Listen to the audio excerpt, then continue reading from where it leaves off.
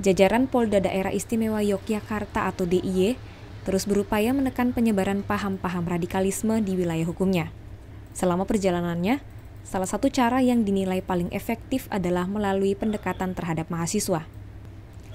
Dirbin Mas Polda DIY Kombes Pol Rudi Heru Susanto mengatakan bahwa ada sebanyak 110 universitas baik negeri maupun swasta yang ada di kota Yogyakarta.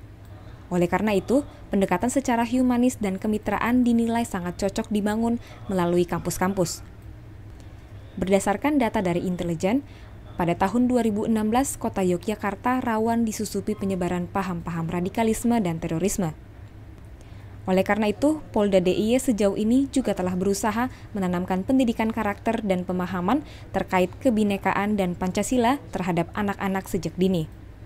Untuk di level tingkat kampus sendiri, juga telah dibentuk Satmabara atau Satuan Mahasiswa Bayangkara yang menjadi garda terdepan dalam upaya pemeliharaan keamanan dan ketertiban masyarakat. Ya, tadi sudah saya katakan bahwa Pak Kapolda Dirbimas lebih melaksanakan kegiatan pemolisian yang kontemporer. Artinya pendekatan yang humanis, kemudian asas kemitraan itu dipegang teguh oleh beliau.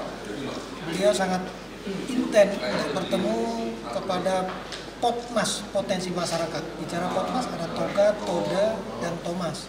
Serta ke kampus-kampus karena kita melihat untuk di Yogyakarta ada 110 kampus yaitu 7 itu adalah negeri, kemudian 103 itu swasta yang cukup banyak mahasiswanya, jadi perlu pendekatan-pendekatan yang proaktif.